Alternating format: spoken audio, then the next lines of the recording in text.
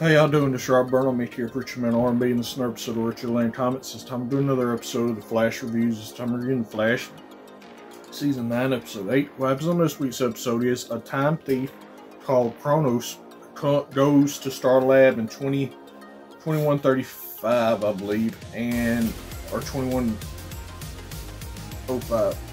21, so, I don't know. Anyway, it's in the far off in the future.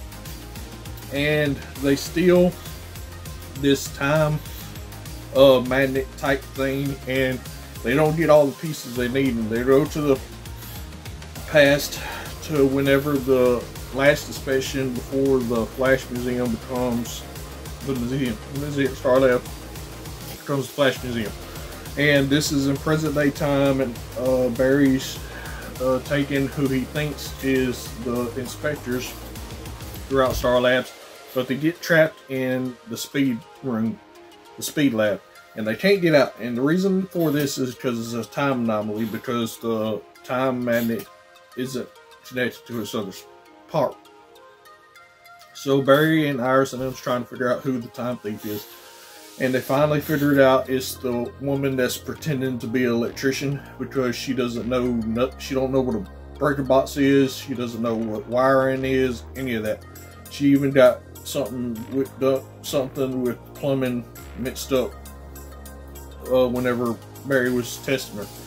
And what happens is is before Barry Iris and Kronos disappears indefinitely, uh, Kronos goes back to 2135 or whatever time it was to put the time magnet back where it's supposed to be with this other part and she does this and it winds up fixing the timeline and uh, that's all that really happened.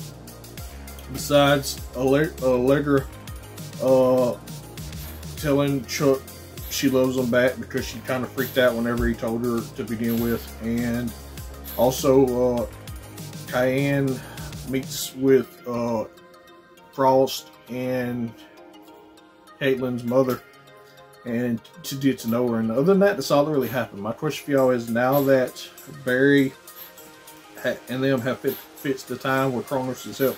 What's going to happen with that? As always, Rob Burnham, me here, Preacher Man, I'll be signing out. Guys, awesome. Spin up, so the Richard Lane comments. See you next time.